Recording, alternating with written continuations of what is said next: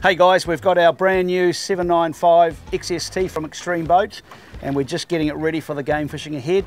Uh, we've got our beautiful ocean blue stainless steel outrigger bases and our 19 foot carbon poles and uh, I just want to run through um, how I've rigged my outriggers on this new boat.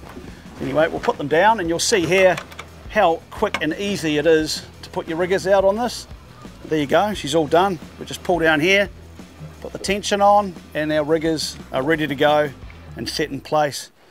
Now you'll see here on our riggers um, how I've rigged them. I have this little piece of line in here. Uh, I like to keep everything as simple as possible. Uh, it's double looped around here, comes back through itself.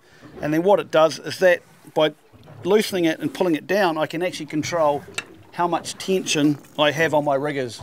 So right now that's where I'd have it when I'm running it during the day. Um, if I want to put the riggers back up again, so all I need to do is pull a bit of tension, loosen that off, and then pull the riggers up, lock them off. Simple as that. And then when we want to run in and we want these to be tight, we don't want them rattling around on the boat. Same thing again, just pull it down to the desired tightness. So it takes a little bit of tuning when you're setting them up, um, but once you've got it in the right place, it works really well. It's a simple system, they don't move. So we'll just put it back out again. There we go, go out. Got that tensioner rope there, pull it down. And our poles are nice and stiff, they've got a good bend in them. When we get a hook up, they're going to get a good crisp release on them. Now the one thing that I would recommend you doing when you are out there fishing for the day, never leave this loose. Tighten it right up because then you don't get any rattling in it, but it'd be horrible to see the, the bolt come off the end of it and uh, not be able to lock it up. So yeah, make sure that's always tightened up when you're uh, trolling for the day. So the way that we've uh, rigged up our riggers, we'll start down at the, um, the pulley system that we've got down here. We always use the Howlocks. Uh, they're fantastic pulley, uh, but they've also got a locking device in there as well. So they lock off um, your halyard line so you don't get any, any creepage when you're trolling. Uh, and it's very easy to, um, you know, lock them, unlock them. Yeah. We've also got a little shackle in there and we've got a little quick release clip to um, onto our little piece of uh, rope that we've got here as well to hold them on. We have a double bearing pulley for the first set of pulleys there because we're going to have two halyards going through it. The middle eye we have a single bearing pulley and on that middle eye we also on the outer halyard it actually slides back through the eye not the pulley and that one pulley is for the smaller halyard and then right at the tip of the pole we have another um, ball bearing um, pulley up there. I love to use the ball bearing pulleys, it just makes um, the line or the halyard slide through it nice and easy. For the halyards, I like to use either 400 or 500 pound mono. It just seems to slide through nicely um, and it's nice and easy on your hands as well. When it comes to the, I guess, the business end of your um, outrigger halyards, um, this is the way I've, I've always done it. I've done it on the big game boats and, and also on the trailer boats. I have this little, I call it a sacrificial piece. Okay, so this is what makes up the working end of your halyards. Um, it's a short piece of mono, roughly about 530 millimeters long.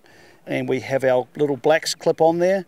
That's actually held in there. It's got a little crimp inside there that we, we just crimp it on and that stops that from going up and down. Uh, on the bottom, we've got our, our crimp onto a small stainless steel eye. Uh, the stainless steel eye we, is used for when we're teaser fishing or, or running teasers. We can run our rod, um, our teaser rod up and that line will go through there and back out into the lure spread. So we have a little stainless steel eye on there. That eye can also be used for if you want to clip on another clip onto there as well. So really handy to have that there. Um, moving up. We've got the clip that we just talked about with the crimp in there to stop it moving. And then we have a stainless steel swivel um, which is um, crimped on. When you go to put this on you can then uh, adjust the tension to get your halyard lines right. It's really important when you put your riggers out and you're putting these on to get them adjusted so you've got the same amount of tension. So no use having one tight and one loose, you want them to be about the same. So it's a, a little bit of a tuning practice uh, when you're setting up your riggers before you crimp them. And then once they're crimped off, on the, on the top of the sacrificial piece of line and on the bottom of it, we have a little uh, rubber sleeve that goes over the crimp, which then protects the pulley when you're bringing your halyard down you don't want that crimp to be going into the pulley and then we also have one on the top crimp so it doesn't go into the bearing pulley on the top of your outrigger poles. when I'm making up my um, outrigger halyard lines, uh, I usually make them all up together, make them all the same length, get a felt pen, uh, mark the centre so I know I've got this in the right place. So it's like a little production line, make them all up at once, and then you can start crimping them onto your halyards, and it just makes it a lot easier and a lot quicker to sort of do it all in one hit um, when they're you know when they're made up together. When I'm uh, doing all my crimping, I like to make sure I mount the end of the line uh, just a little bit of added security to stop um, any of that mono slipping through the crimp. It also helps when you're trying to pull it up nice and tight in the crimping process. The only one that you can't actually uh, burn is that bottom one and that's usually the last one that we do up and that's when we put it up there and we're pulling it down to try and get the right tension. Once we get the right tension, a good tip is to pull the mono up and then crimp it and then obviously you're going to put that protective sleeve over it to protect it. So that's really the only one that we can't burn. So there you go guys, that's how we rig our outriggers. Um, huge thanks to the guys at Ocean Blue Outriggers and Bases. Phenomenal product. We've been using it for years now and absolutely love it. And uh, happy game fishing guys. Looking forward to the season ahead. Adios.